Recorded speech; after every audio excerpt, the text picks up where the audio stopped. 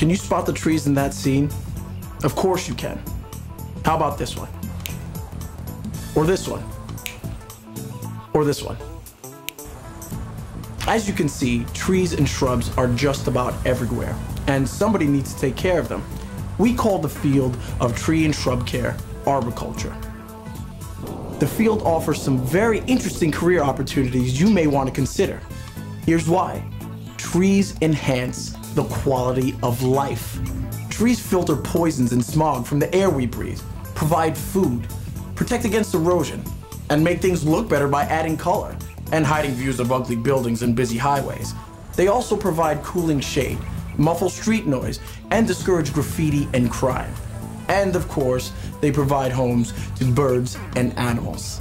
They only do these useful things for us when they're healthy themselves, and keeping them that way is a job of an arborist. Actually, arborist is a catch all term for a variety of interesting careers where your office may be a park, a playground, a beautiful residential neighborhood, a college campus, or a high tech laboratory. No boring cubicles for arborists. If you care about trees, there are many companies, including landscape management companies, government agencies, towns, parks, and colleges all across the country offering good pay to young men and women who want to care for and protect trees. So, what exactly do arborists do? To answer that, I'm going to turn things over to my friend Jenny. Thanks, Alex. Answering the question, what do arborists do, isn't easy because they do a lot of different things. Here, take a look.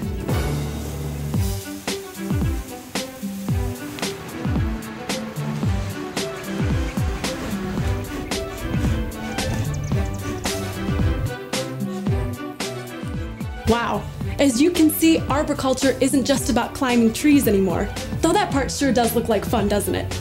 As an arborist, you'll use the latest technology to help trees and protect the environment, as well as people. Just as your body needs care, food, and water to survive, so too do trees. So, how do you become an arborist? There are so many ways. You can begin working right out of high school. You can go to a two or four year college and then join the field. Or you can get an advanced degree and then get a job. You can even work in the field while you go to school. Some tree care companies offer internships and scholarships if you study arboriculture or a related field like landscape architecture, botany, horticulture, forestry, urban forestry, entomology, plant biology. Hmm, you study and they pay. Sounds good to me. Will you have trouble finding a job? Not likely. The arboriculture industry needs your help now and is offering good jobs in all 50 states. This is not seasonal work either, but rather full time jobs that must be done all year. There are arboricultural careers for almost every preference. You like hands on physical work? We've got it. You like consulting with people and sales? Got it. Want to use your brain? We need that too. General Tree Care crew members are the action heroes of arboriculture. They become experienced in all phases of tree maintenance and the safe operation of equipment used in tree care. A certified arborist representative will develop client relationships by consulting with prospects and existing customers and helping determine their tree and shrub care needs.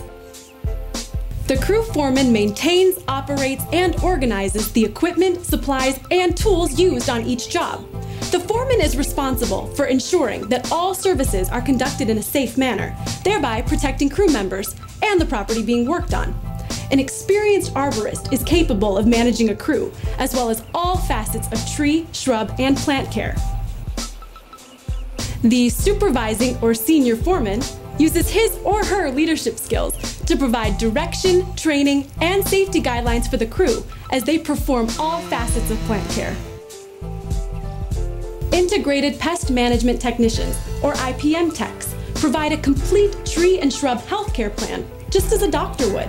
This work includes diagnosing insect infestations, diseases, and cultural problems, and providing an accurate soil management plan for trees, shrubs, and plants, to actually correcting landscape problems with appropriate treatments. The plant healthcare technician is responsible for properly conducting plant healthcare applications and for maintaining, operating, and organizing the equipment, treatment, and supplies needed to successfully perform the job. An administrative assistant performs or supervises all administrative and clerical work, depending on the size of the office. Arboricultural laboratories require PhDs, plant and soil scientists, and supporting professionals who conduct research to help develop programs, techniques, and testing equipment that set the standards for the tree care industry.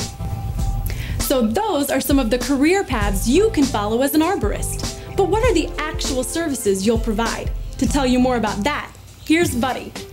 Thanks, Jenny.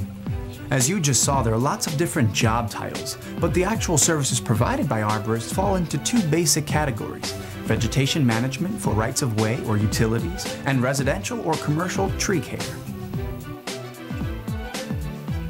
Vegetation management involves pruning trees so they don't interfere with power lines, phone wires, high tension lines, highways, or railroads. This type of work involves physically removing trees and brush and applying herbicides.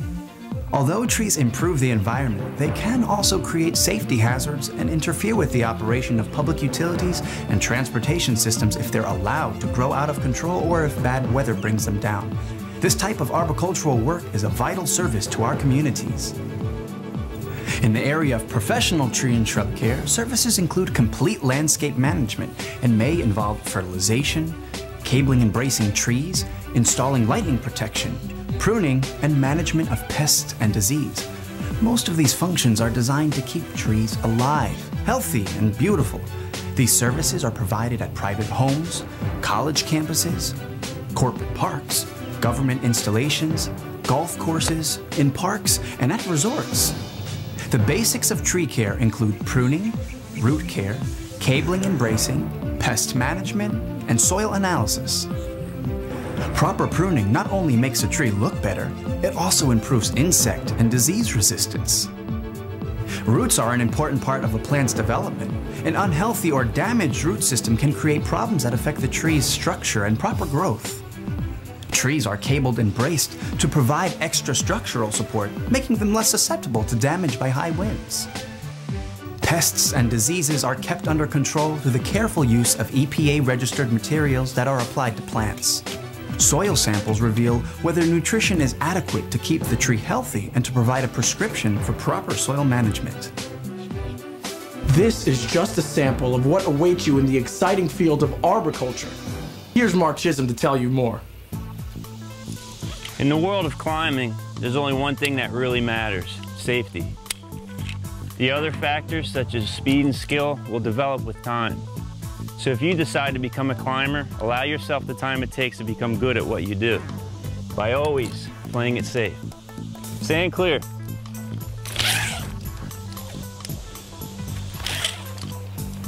How many other careers let you earn a good living while making a real difference? You can save a tree and help to protect the planet. Now that's arboriculture.